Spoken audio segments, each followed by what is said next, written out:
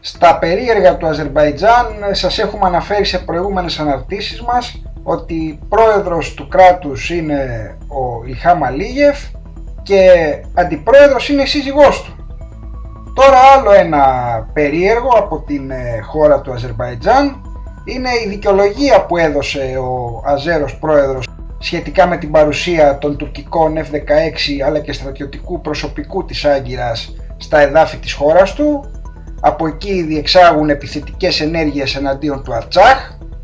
Είπε λοιπόν ούτε λίγο ούτε πολύ ο Ιλχάμ Αλίγεφ, στο CNN μάλιστα, Επιβεβαιώνω ότι τουρκικά F-16 και στρατιωτικό προσωπικό βρίσκονται στο έδαφος του Αζερβαϊτζάν για να συμμετάσχουν σε στρατιωτικές ασκήσεις, δεν συμμετέχουν σε εχθροπραξίες, είπε σε συνέντευξή του στο CNN.